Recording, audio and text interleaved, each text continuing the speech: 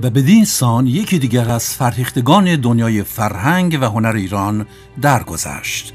پرویز کلانتری نقاش، طراح و نویسنده و روزنامه‌نگار معاصر.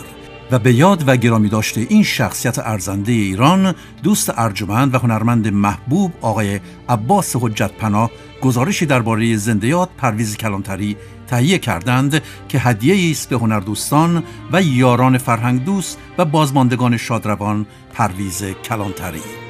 هرگز نمیرد که دلش زنده شد به عشق. ثبت است بر جریده عالم دوام ما.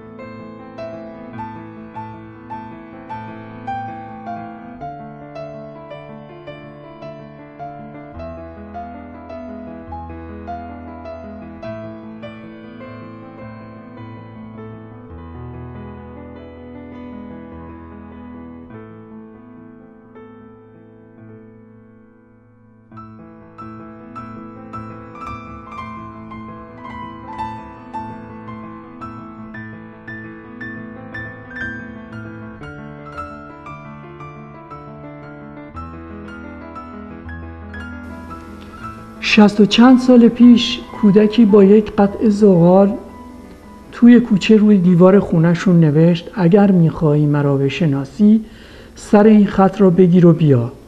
خط و کج و موج و پیچ در پیچ کشید و کشید رفت رو دیوار همسایه از اونجا رفت رو دیوار بعدی و با, با پیچ و تابی که به خط می‌داد رفت تا دیوارهای بعدی تا تای کوچه و پیچید توی کوچه بعدی و از اون کوچه به کوچه بعدی تا رسید به محله های ناشناس که در محله های ناشناس گم شد.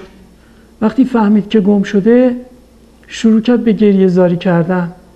خب خیلی طبیعی بود اگر می‌خواد خونش رو پیدا کنه دوباره سر اون خط رو بگیره برگرده سر جای اولش.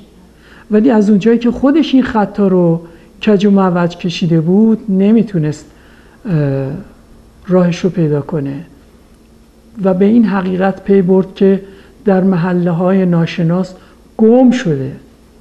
خب اصلا کسی قرار نبود که این کودک رو بشناسه که بیاد حالا سر این خط رو بگیره و بره تا این کودک رو بشناسه. فلواقع این خود اون کودک بود که می‌خواست خودش رو بشناسه و در این وادی خودشناسی در محله های غریبه گم شد. امروز هفتاد و یک سالشه و همچنان این خط رو داره ادامه میده برای اینکه خودش رو پیدا کنه. ولی همیشه احساس می‌کنه تو محله های دیگه گم شده و هنوز نمی‌تونه خودش رو پیدا کنه.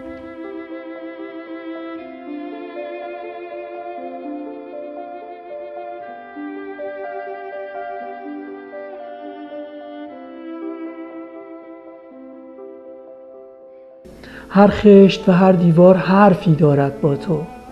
رازی دارد از حوادث جهان و گذشت زمان.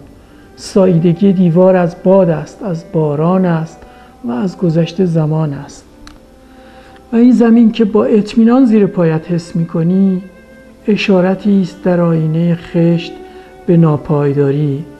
و خشت نمودار خاک است و سرنوشت و سرگذشت تبار ماست بر دیوار تا بماند به یادگار به رسم به نقش به شکل.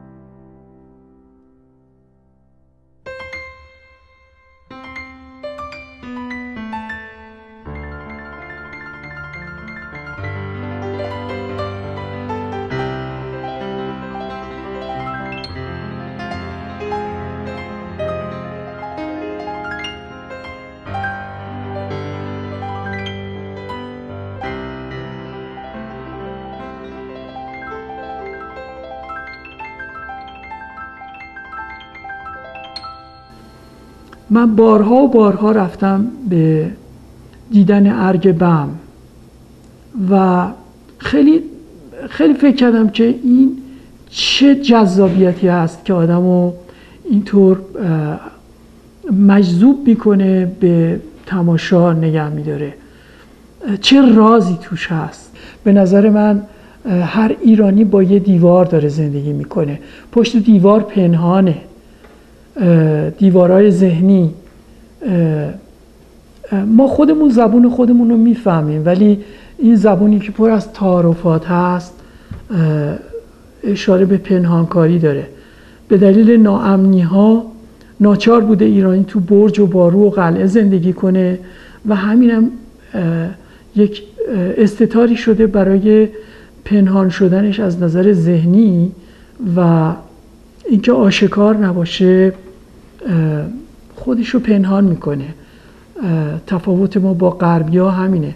در غرب همه چی اوریانه و آشکاره ولی ما ایرانیا با یک فرهنگ خیلی پیچیده و پر از راز و رمز زندگی می‌کنیم که خودمون پشت اون لایه ها پشت اون دیوارها پنهان هستیم.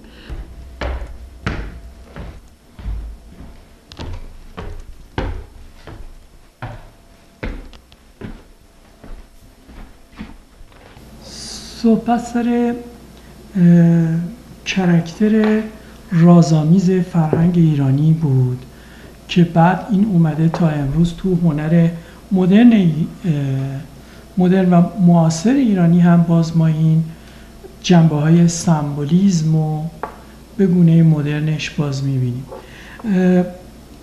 کارهای آخر من کارهای خیلی ساده ای هستند در قلمرو هنر مفهومی هنر کانسپچوال خیلی ساده تجربیاتی دارم از این قبیل.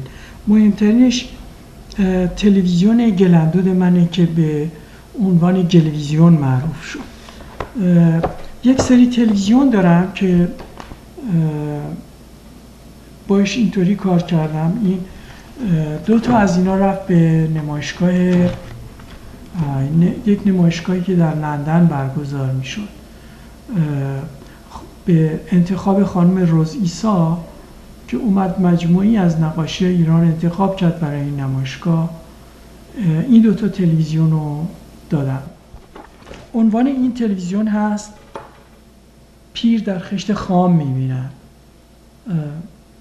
نقاش دلش نمی‌خواد از این شیشه شفاف ببینه اینو گل گرفته.